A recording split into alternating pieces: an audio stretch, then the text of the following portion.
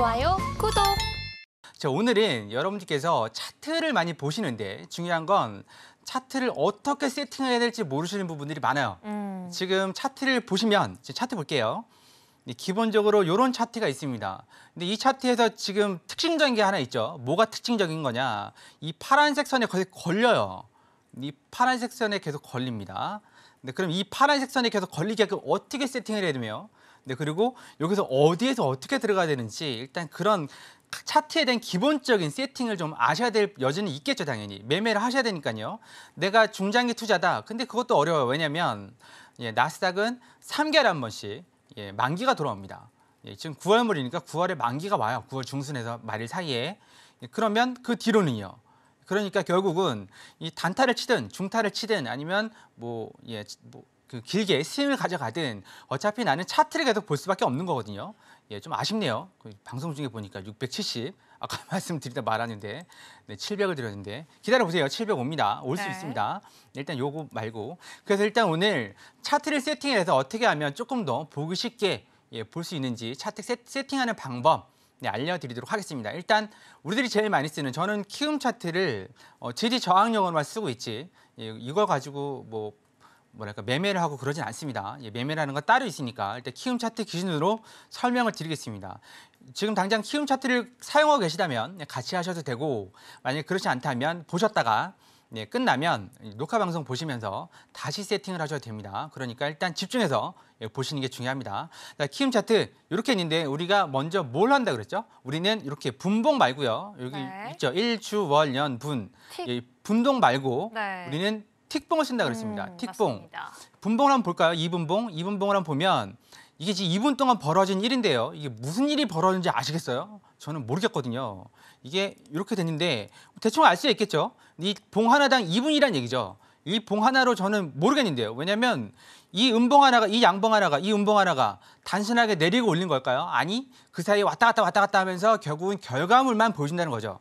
그렇다면 우리는 좀 더 디테일하게 보기 위해서 틱봉 네, 그 중에서 저는 480틱 여러분들께서 120틱을 쓰셔도 되고 뭐 240틱을 쓰셔도 되고 상관없습니다. 저는 480틱 예, 그렇게 쓰고 있고 그럼 여기다가 이평선을 세팅을 할 겁니다. 이평선은 네, 요게 뭐 기본적으로 세팅이 돼 있으니까 클릭을 하셔서 여기 우, 여기다 대놓고서 50, 20, 60, 120 제가 가장 중요하게 여기는 게 120 이평선 120은 꼭 넣으시고 여기다가 라인에서 두껍게 120을 세팅하시면 됩니다. 이 부분은 뭐 차트 만질 줄 아시는 분 다 아는 부분이고 우리는 그 부분 말고 신호를 넣어보도록 하겠습니다. 신호.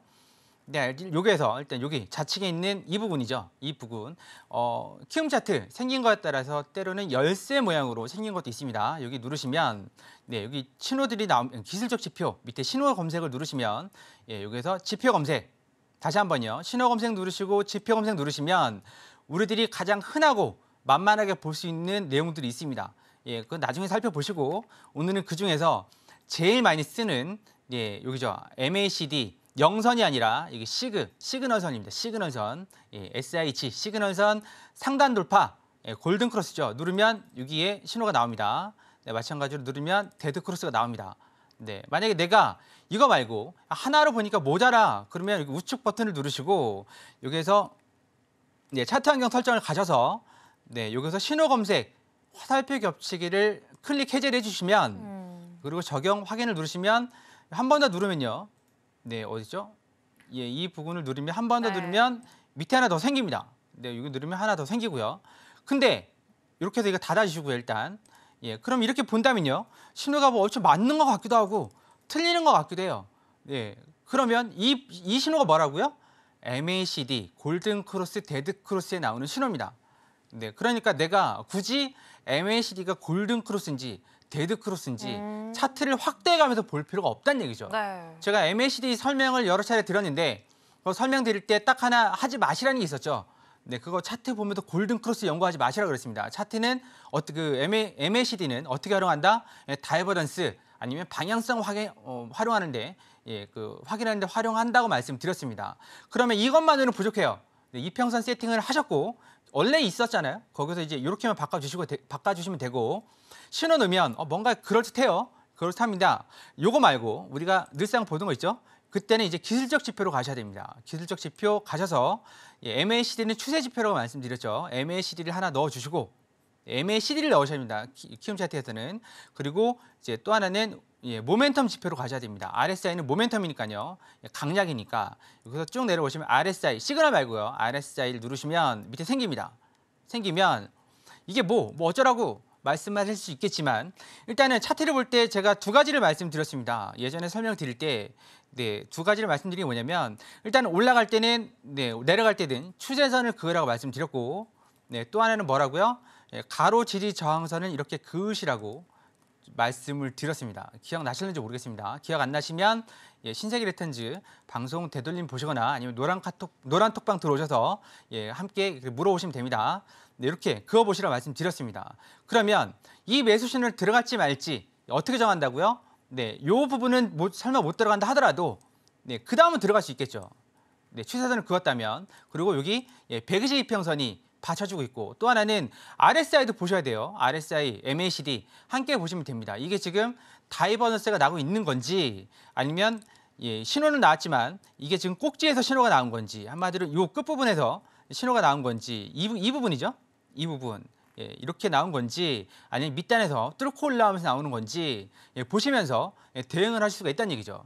그럼 이 신호가 없다면 제가 이거 말씀드렸잖아요. 그러면 이렇게 계속 봐- 보셔야 된다고 이렇게 보시면 안 됩니다. 차트는 예, 최대한 내가 감당할 수 있을 만큼 이렇게 쪼아서 보셔야 추세라는 게 나오는 거고 네, 지리 저항선들이 이렇게 나오는 겁니다. 이렇게 선을 그어주시면 됩니다. 그래서 오늘은 이 부분 네, 일단 신호 나오는 부분은 여기 왼쪽에 누르시면 되고, 네, 그리고 여기에서 기술적 지표 이 두 개 밑에 세팅을 하시면 되고, 그리고 신호 검색을 누르셔서 네, MACD든 아니면 여기 CCI든 아니면 볼린저 밴드든 아니면 밑에 뭐 파라블릭이든 스토키스틱이든 뭐든지 다 나옵니다. 네, 그 중에서 내가 인정할 수 있고 또 내가 어, 좀 쉽게 따라할 수 있는 그런 신호로 예, 세팅을 하시면 됩니다. 그래서 이런 부분들은 노란 톡방에 계신 분들하고 방송 때 예, 설명을 드립니다. 네, 그러니까 만약에 이 부분이 더 궁금하시고 또 이 부분이 좀, 좀 아리까리하다 아니면 이렇게 하면 어떻겠느냐 아니면 어떻게 하면 좋겠느냐 그렇게 궁금하시다면 노란 톡방 들어오셔서 예, 함께 하시면 될 것 같습니다. 일단은 오늘 이렇게 기본적으로 차트를 세팅하는 방법 알려드렸습니다. 많은 도움이 되셨길 바라겠습니다. 좋아요, 구독.